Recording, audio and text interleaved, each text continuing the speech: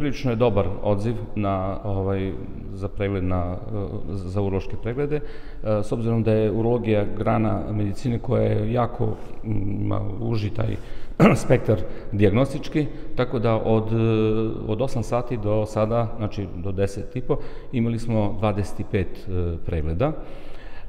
Obično su to hronični pacijenti, ali su došli i ne mogu da kažem pacijenti, došli su i oni koji u stvari koji su želeli da provere svoje e, zdravlje, pre svega jednim ultrazvučnim pregledom i naravno sa tim ultrazvučnim pregledom radimo i laboratoriju koja je usko povezana sa našim, našom patologijom.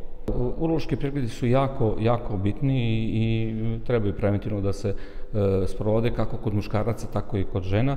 Zaista je, ipak dominira muška populacija urologije, ali ne možemo ni zanemariti e, bolesti i oboljenja, ovaj, ženskih oboljenja koji takođe pripadaju e, našem, našem spektru pregleda. E, jako su važni preventivni pregledi. E, imamo kao primer učestalost e, oboljenja prostate, načito karcinoma prostate, koje u ovom momentu verovatno i prelazi na, na prvom mestu u odnosu na, na broj obolelih od karcinoma prostate. Čak može da se kaže da je gotovo tu izjednačen sa karcinomima pluća.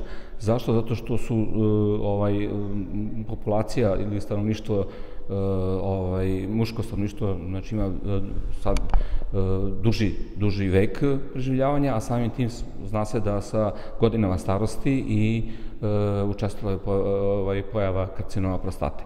Karcinom prostate je znači, oboljenje koje se, maligno oboljenje prostate koje se leče jako uspešno ukoliko se na, na vreme otkrije, pa tako da ti preventivni pregledi, e, pre svega znači, e, pregledi, e, rektalni pregledi prostate, ultrazvučni pregled prostate i tumor markeri predstavljaju pravi način da predupredimo da se taj, taj karcinom razvije i da, da udaljene metastaze.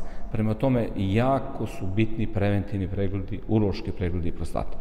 Osim tih pregleda ovaj, prostate, postoji pregledi mokraćne bešike, e, takođe učestalost je e, oboljenja mokraćne bešike, opet da se vratimo na, na onkološke pacijente, znači e, na desetom mestu po učestalosti ovaj, u Evropi jeste oboljenje mokraćne bešike, odnosno karcinom mokraćne bešike.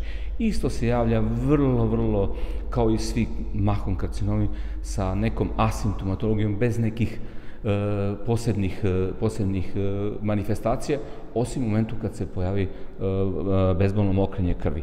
Prema tome, ultrazvučni pregled je suverena metoda pomoću koje možemo da otkrijemo defekte u mokraćnoj bešici i da uočimo na vreme početni, početak karcinoma bešike.